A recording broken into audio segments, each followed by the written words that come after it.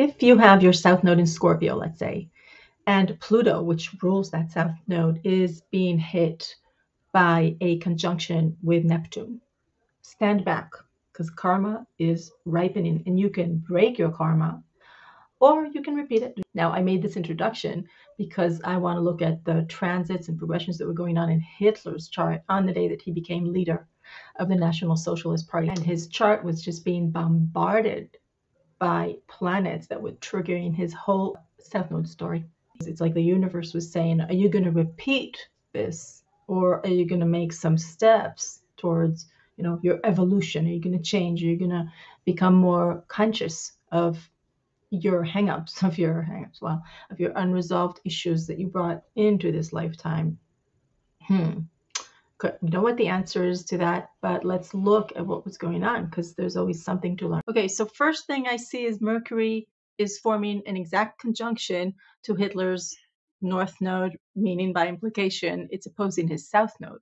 Uh, Mercury is the natural ruler of the third house. So, definitely a good time, a very persuasive, very powerful time for Hitler if he wants to get a message across. You know, people are going to listen. So, what is Hitler going to communicate on this day? Well, of course, that depends on whether he has worked on his South Node issues or not. And obviously, he didn't. Mercury is, is fast moving. So, when we're looking at big karmic times, many times there's a slow moving planet, like check out this Pluto that's about to oppose, it's already in opposition to the moon and Jupiter.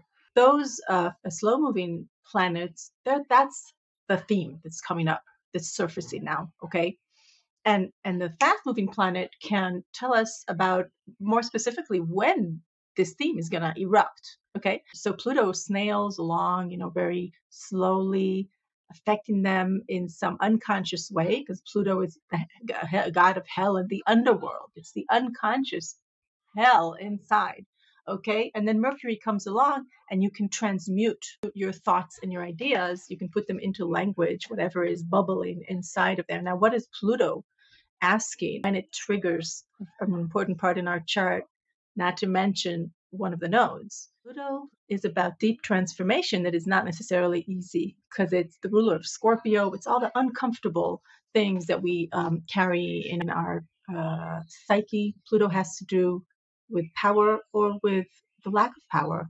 So we can become very powerful at Pluto, in Pluto times, or we can fall because um, the forces are just too much for us to bear. So the high manifestation of Pluto would be that you go through this not very easy like therapy, like digging deep and looking at your the dark side inside of you, whether you were a victim or victimizer, everything that you've pushed away from your consciousness to, because you have to live, you know, uh, surfaces in Pluto times. But if you're going to deal with that and you're going to face your, your issues, you're going to come out, you're going to ascend from that hell and be wiser and be more powerful. You're going to own yourself more than you did before.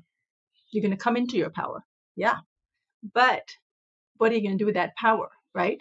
You can you can become a wiser person, a more powerful person as a, as a guide to others, as a role model, or you can abuse your power and use the others, right? I would say, I mean, it's obvious that what Adolf Hitler did was the he used the energy of Pluto to seize power and to abuse that power. Another very important transit that we see here is Neptune.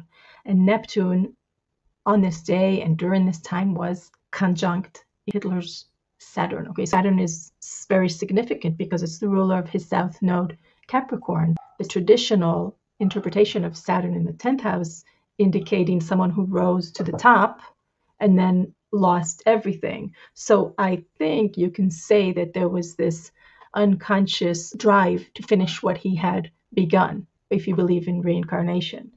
And this time, you know, I'm gonna I'm gonna get it right.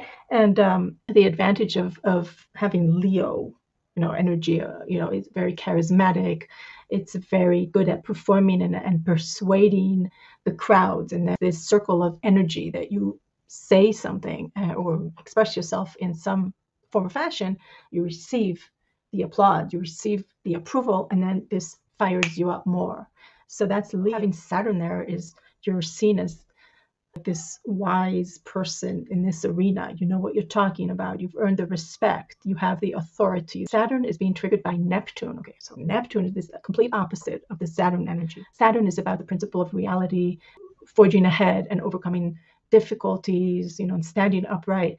In medical astrology, Saturn is the skeletal system that enables us to stand. Now, Neptune comes along, and on its high road, again, ne- Neptune is about, it's the god of the ocean. It's about this knowing that we're part of something vaster, okay? That each and every one of us is like a drop that falls into the ocean and uh, merges with the ocean. So it's a loss of ego. Uh, it's spiritualistic energy.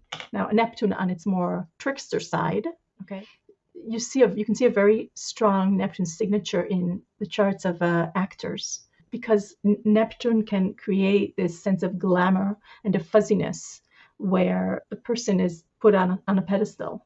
One of its shadows can be um, illusion, deceit, uh, glamour that is not based on anything real. So Neptune comes along and, and on the high manifestation asks for letting letting go, really like uh, liquidizing Saturn. And what Hitler does is he uses uh, that Neptunian energy to receive the adoration of the masses, and thus he becomes a dictator. So, this is a good example, uh, very unfortunately for humanity, of someone who completely manifested the dark, the shadow uh, archetype of all the planets. So, let me know if you have thoughts. I'm sure there's so much more to say and so many different astrological insights and approaches. If you want, leave a comment below. Subscribe if you like this content. And thanks for being here.